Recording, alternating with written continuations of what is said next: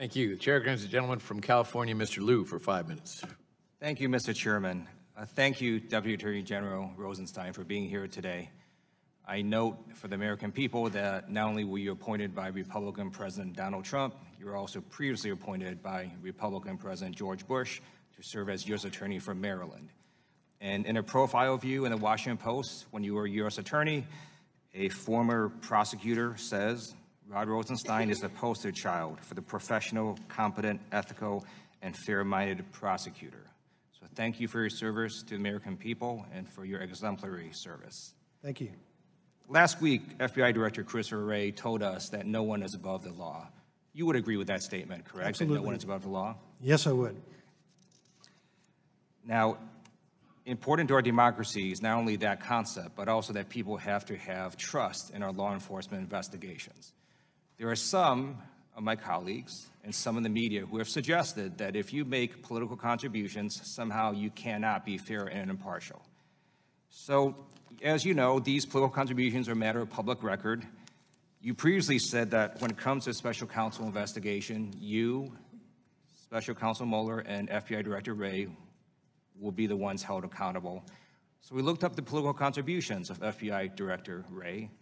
He has made over $39,000 in contributions exclusively to Republicans, including $2,500 twice to Romney for president, $2,600 twice to Perdue for president, thousands of dollars to National Republican Senatorial Committee, $1,000 to Comstock for Congress, and on and on.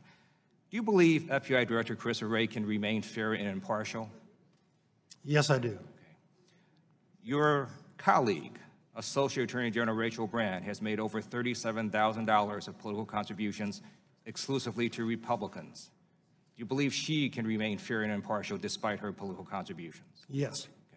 I think it's important right now to shut down the silly argument from my colleagues across the aisle that somehow if a Department of Justice employee exercises their First Amendment right to make political contributions, that somehow they cannot do their job.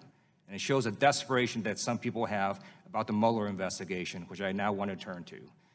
You supervise that investigation, so you are aware, of course, of their guilty pleas and indictments. And in reviewing the guilty plea of George Papadopoulos, you would agree that there is a solid legal and factual basis for that guilty plea, correct? I believe he was represented by competent defense counsel who assisted him in making his decision. And he pled guilty uh, to lying to FBI agents about interactions with Russia, Russian officials, correct?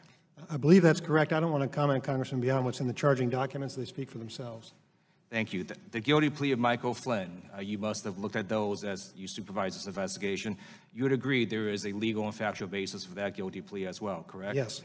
And he lied to FBI agents about his interactions with Russian Ambassador Sergei Kislyak, correct? Again, Congressman, the documents speak for themselves. Uh, You have read the indictments against Paul Manafort and Mr. Gates. You would agree there is a solid legal, factual basis for those indictments, correct? Congressman, when we return an indictment, we're always careful to say the defendants are presumed innocent, but uh, I'm comfortable with the process that was followed with regard to tho- that indictment. You're aware of the various people that have been interviewed by Special Counsel Mueller's team. Uh, You would agree that there was a a factual and legal basis to interview those witnesses, correct? I'm not aware of any, uh, of any impropriety. Uh, You previously had testified about uh, Robert Mueller's exemplary record and dedication to service. You did mention he was a Vietnam veteran. Uh, I just want to note for the record, and I'm sure you know as well, he also did receive a Bronze Star for his service in Vietnam, correct? I believe two, correct? He also received a Purple Heart for his service in Vietnam, correct? Yes. Okay.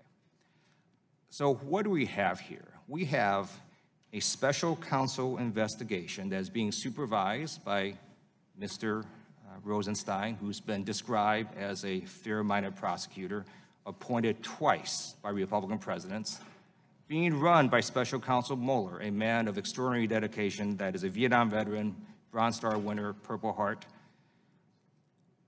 and in coordination with FBI Director Christopher Wray, who's been appointed by Republican president, who's made over $39,000 of contributions exclusively to Republicans. That is the leadership of this special counsel investigation, and I am okay with that. I yield back.